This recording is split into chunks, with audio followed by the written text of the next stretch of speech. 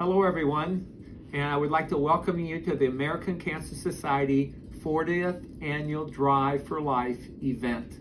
I wish I could be with you today, but as you know, COVID keeps us from participating in many of these activities.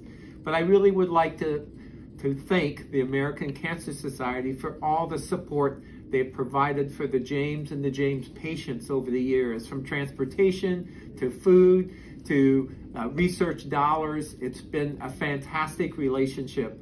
And today is just another great example of the, the great collaboration between the James and the American Cancer Society.